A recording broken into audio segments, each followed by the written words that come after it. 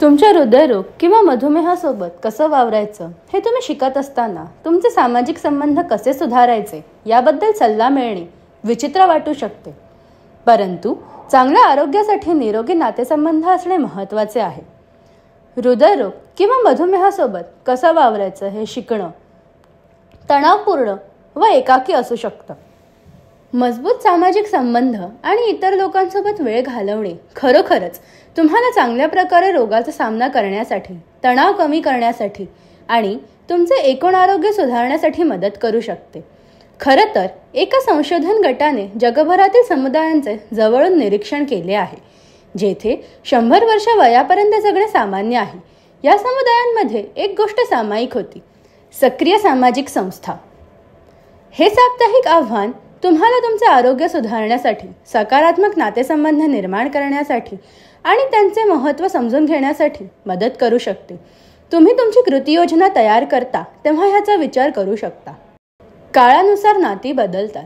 तुम्हाला हृदयविकार किंवा मधुमेह आहे हे कळल्यावर काही नातेसंबंध बळकट झाले असतील. तर तुमची काही नाती तुटलीही असतील. तुम्ही आजारी पडल्यावर काही लोक तुमच्यापासून दूर गेले असतील. असंही असू शकतं की त्यांना तुमच्याशी काय बोलावं हे कळत नसेल किंवा त्यांना वाटलं असेल की तुम्हाला स्वतःसाठी वेळ हवा आहे. इतर लोकांनी कदाचित मदत करण्याचा प्रयत्न केलाही असेल परंतु तुम्हाला आवश्यक ते समर्थन त्यांना देता आलं नसेल. तुमचा विश्वास असलेल्या लोकांची जसे की कुटुंबातील सदस्य मित्र सहकारी तुमच्या समुदायातील लोक तुमचं प्रार्थनास्थळ किंवा तुमची आरोग्य सेवा टीम यांच्याशी बोलण्याचा प्रयत्न करा. ते काय विचार करत आहेत हे तुम्हाला माहिती आहे असं समजू नका. तसेच तुम्हाला कसे वाटते हे त्यांना माहिती असावे असंही गृहीत धरू नका. तुमचे विचार आणि भावना व्यक्त केल्याने लोकांना तुमच्या गरजांची जाणीव होते. तुम्हाला कसे वाटते ते व्यक्त करताना स्पष्ट आणि विशिष्ट व्हा. तुम्ही म्हणू शकता मला माझ्या भावनांचा निचरा होणे गरजेचे वाटते. किंवा मला स्वतःला आत्मचिंतन करण्यासाठी वेळ हवाय.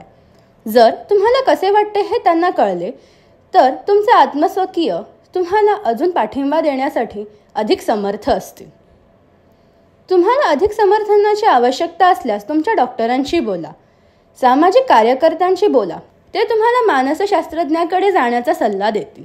सर्वच नाती निरोगी नसतात. तुमच्या आयुष्यातील लोकांबद्दल विचार करा. आणि कोणत्या लोकांशी तुमचे चांगले सकारात्मक संबंध आहेत आणि कोणाशी तुमचे विवाद किंवा तणावाने भरलेले नाते आहे ते ठरवा. काही लोक त्याची व्याख्या तुम्हाला ऊर्जा देणारे नाते आणि तुमची ऊर्जा काढून घेणारे नाते अशी करतात. एकदा तुम्हाला तुमचे नातेसंबंध समजले की तुम्हाला कोणत्या गोष्टींकडे लक्ष द्यायचे आहे हे तुम्ही ठरवू शकता. सर्व निरोगी नातेसंबंधांसाठी आदर विश्वास आवश्यक असतो. प्रेम नातेसंबंधात लैंगिक संबंध आणि जवळीक देखील महत्त्वपूर्ण असते. मधुमेह आणि हृदयविकारामुळे तुमच्या लैंगिक संबंधांमध्ये समस्या निर्माण होऊ शकतात.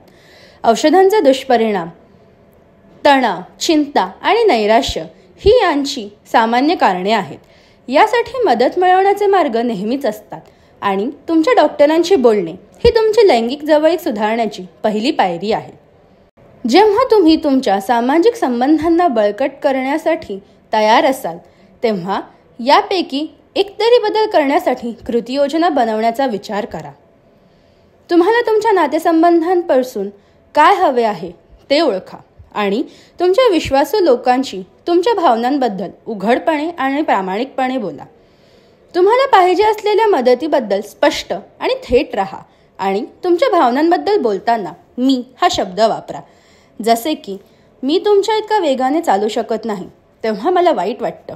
किंवा तुम्ही मला काय खावे हे सांगता तेव्हा मला राग येतो.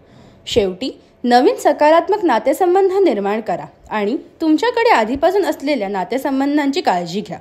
तुम्ही तुमचे सामाजिक नातेसंबंध मजबूत करण्यासाठी तयार असाल तर आजच नवीन सवय निर्माण करण्यासाठी सुरुवात करण्याची कृतीयोजना तयार करा.